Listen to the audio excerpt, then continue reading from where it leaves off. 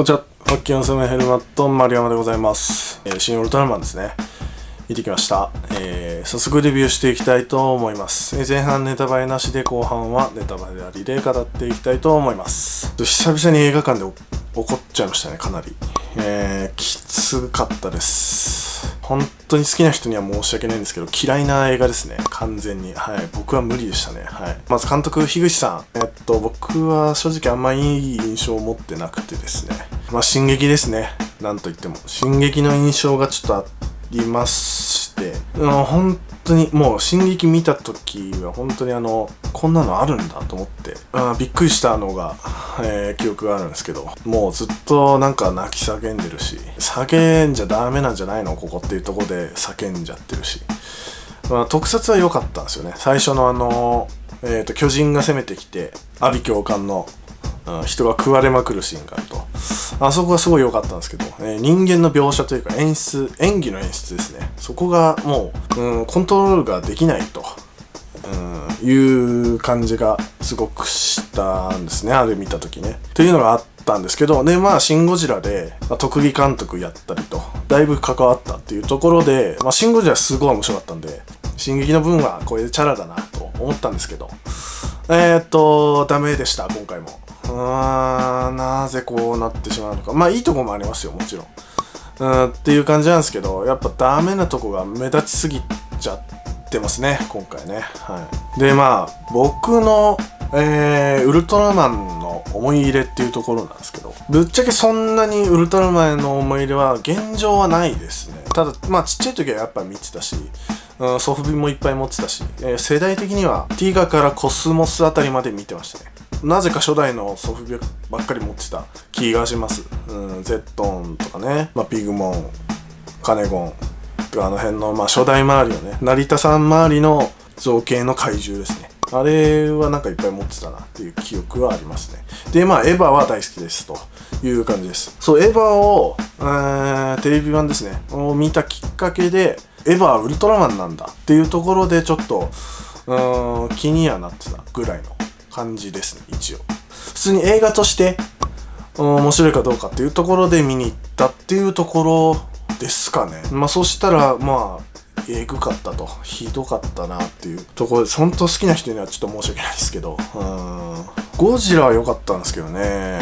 実装時ショットってやつですね。いわゆる実装時ショット。うん、越しの絵がすごく多いと。あと俯瞰というか、広角の絵ですね。がすごい多いっていうところですね。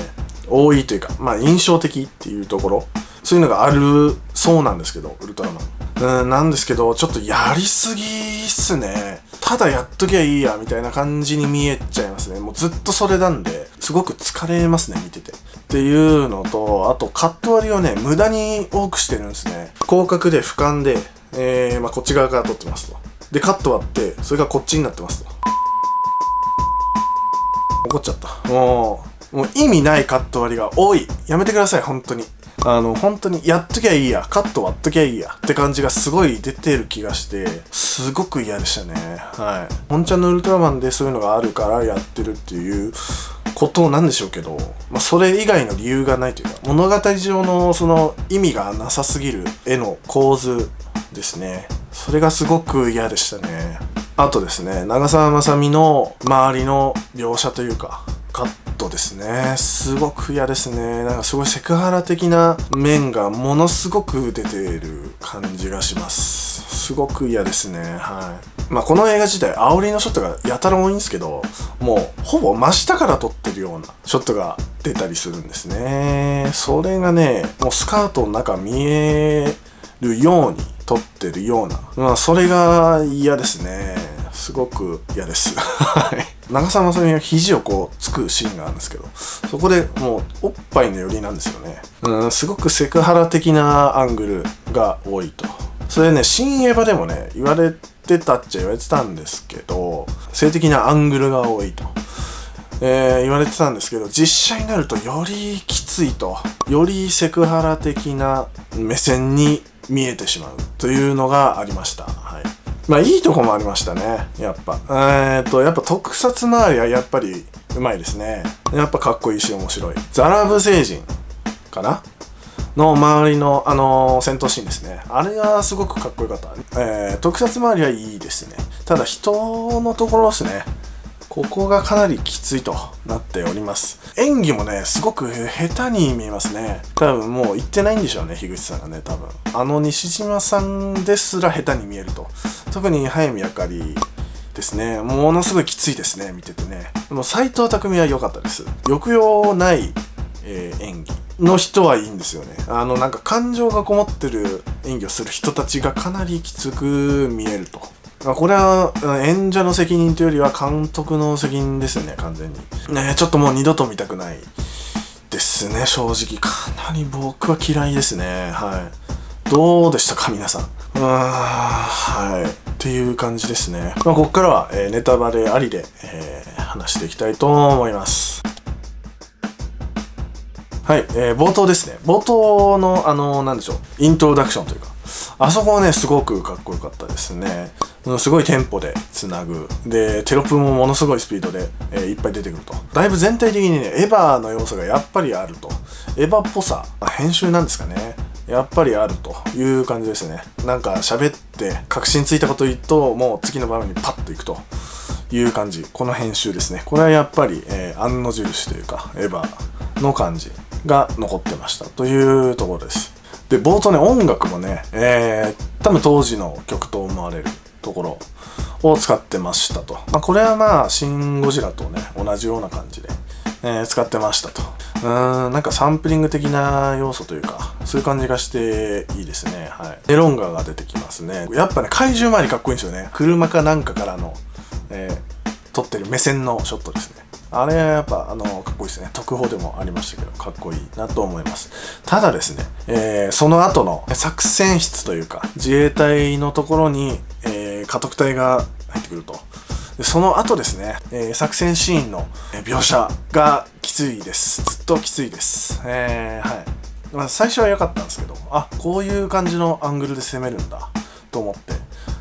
あー、かっこいいっすね、と思ったんですけど、ずっとそれなんで、あー、なんかともう見てんのきついなと思って。ずっとそれだとやっぱきついっすよね。普通のアイレベルの絵というか。そういうのがあるから、ああいうのが生きてくるんであって、あれだけずっとやられたら見てらんないっすね。で、長澤まさみに出てきますと。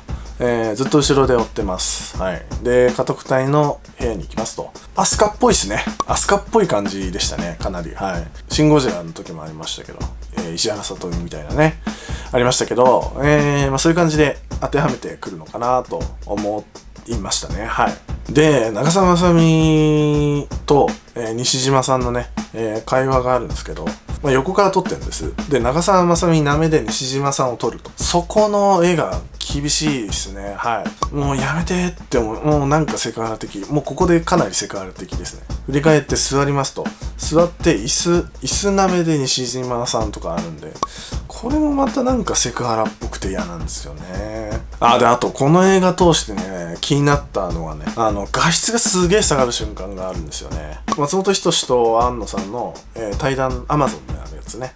あれで言ってたんですけど、とにかく別のカットが欲しいと。で、もう iPhone でも撮っちゃうみたいな言ってたんですけど、えっ、ー、と、シン・ゴジラだとね、それうまくいってたんです。POV 視点というか、あの、その場の人が、えー、撮ってる絵として iPhone っぽい画角画質、えー、手ぶれ感とね、それが生きてたんですけど、えっ、ー、と、今回は完全に真逆ですね。もう目立っちゃいます。すごく。画質の荒さ、ルックの合ってなさがすごく目立ちますね。これも気になっちゃいますね、見てて。はい。すごいオムニバスっぽいんですよね、なんか。もう、無理やり繋いだ感がすごくあるんですよ、話。怪獣が何体か出てくるんで、それもなんか、もうテレビでやればいいじゃんって思っちゃうんですよね、なんか。もう30分でテレビで、ゴールデンタイムでそれなりにお金かけて特別番組みたいな感じで毎週やるのじゃダメなんですか？ってまあ短めの特別企画みたいな感じでテレビでやるのじゃダメなんですかってのを思っちゃいますね。はい。言葉での説明台詞がものすごく多いですね。この映画がダメな要素として1個ありますね。ものすごい説明してますね。特にガボラのシーンね。ガボラの戦闘シーン。ここのね、なんか防護服着て、えー、説明してると。ここがう、まあ、きつい。もう絵で見せてよって思います、やっぱ。映画ですから。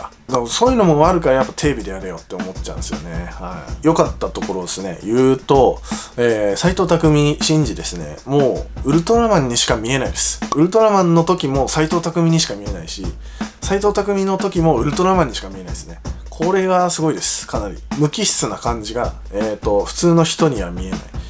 あー、だそういうことっすか？今思ったけど、そういうこと？斎藤匠がちゃんとウルトラマンに見えるように他の人をなんか感情的にしたっていうことですか？まあかなり代償を払ってるなっていう感じがするっすけどまあまあまあそれで、まあ、成功はしてるのかな？そういう意味で言うとうんどうなんですかね？どう思いました？あザラブ星人ねえっ、ー、とザラブ星人何がいいってあの、えー、声がねえー、津田さんでしたね。海馬瀬戸です。海馬でした。あそこ上がりポイントです。わ、海馬がやってるよって、海馬がウルトラマンと戦ってるよっていうのが、えー、僕の上がりポイントでございました。で、あの、車でのあの、ザラブ星人との対話のシーンですね。ボンネットに置いて、ボンネットから2人のツーショットと。ところなんですけど、それまで、うん、カット割りまくってたくせに、そこだけ長いんですよね、カット、フィックスで。え、なんだって。そこは割んねえのかよっていう、なんか謎の、うーん、こだわりっていうか、こだわりなんだかなんもう知らないですけど、もう、そこ、な、なんなんって思いましたね。はい。で、その、さっきの問題の言いましたけど、長澤まさみの、えっ、ー、と、セクハラ描写がまたここで入りますと。あの、巨人化しちゃうんすね。あそこの煽りショットどう思いました、まあ、巨人化してる、まあ大きさを見せるとしてまあわかるっちゃわかるっすけどまあそのまあ煽りのショットはまあそれ理由があるとしていいとしてこの肘の時のここの寄りだよね。ここもマジで意味がわかんないっすよね。いらないっしょどう考えても。そういうとこでセクハラなんだなってすっげえ思うっすね。はい。メフィラス出てきますね。やっぱ良かったです。あのー、嘘くさい笑いですね。偽善者というか。だからなんか、はっきりとこうしたらいいっていうのが分かる役ですね。の演技はいいんですけど、その他の、まあだから隊員たちですよね、家督隊のね。そこが本当に、なん、どうした本当に演出したのかなって思っちゃいますよね、やっぱ。あーで、メフィラスと戦う前の、あの、匂いのくだりですよ。ここが一番嫌かもしれない。なんか匂い嗅いでね、うん、分かった、覚えたっ、つって。どういう気持ちでやってたのかなって思いますねあの二人。へえ世間は許しちゃくれませんよね本当に。あれは何？原作というかウルトラマンにあったくだりなんですか？ちょっとわかんないんですけど。でもあれ今やるならちょっと変えるべきじゃないかなって思うっすよね。まあまあでもまあ戦闘は良かったっすよ。はい。っていう感じでした。メフィラスもね。戦闘シーン。あそうそれで言うとメフィラスの造形ねかなり変わってましたね。もうメフィラス星人は知ってるんですけどさすがに。えー、かなり造形変わってましたね。すごいシュッとして口の部分がこう拡大してるみたいな。あれ前田さんっぽい感じしますね。今回デザインがあの前田さんになったという感じだそうなんで。その使徒感というかあの新エヴァ周りの使徒感みたいな。えー、感じはすごい出てました。あ、そう、メフィラスのね、あの、移動シーン、ふねねねっていうのとか、あの、ハッキングしてる時の手のブレブレっていう変わる感じ、あれもかっこよかったです。メフィラス周りはかなり好きですね。はい。で、あと、竹野内豊も出てきましたと。はい。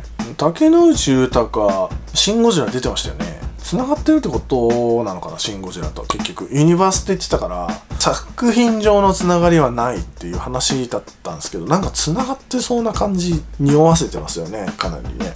あの、まさか、えー、新ウルトラマンでもサプライズ来るとは思わなかったですけど、ゾフィー出てきました。ゾフィー。ゾフィーは知ってますよ、僕でも。ゾフィー行くんだと思って。あそしたら説教されてましたね。と思ったらゼットンだっつって、おゼットン出てくんだおーっていう思って、えー、ゼットンってあの、ウルトラマンが最初に負ける怪獣ですよね、確かね。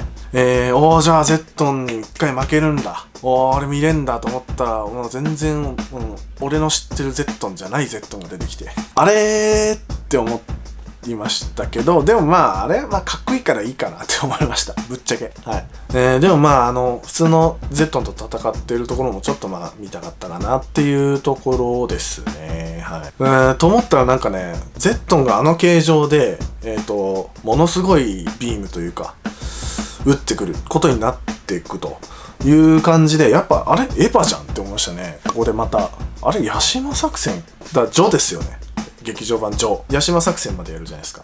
それで言うとねあ完全にじゃあここクライマックスだっていう感じですよね、えっと、形は全然違いますけどラミエルっぽくないですけどあのラミエルじゃなくてあのエヴァ3体で倒すあの地球に落っこちてくるタイプの人。忘れちゃったけど名前。あれになんか、えっと、攻め方は近い感じがしたんですけどクライマックスの規模感みたいなのがヤシマ作戦を放出とさせるようなえー、クライマックスとなっておりました。で、えー、ウルトラマン倒してなんかブラックホールみたいな、えー、ところ行きますね。あのインターステラーのブラックホールみたいなこうなんかこういうこういうタイプのブラックホールみたいなところ行きますと。あのウルトラマンの逃げ方はえー、っとどうなんですかあれ。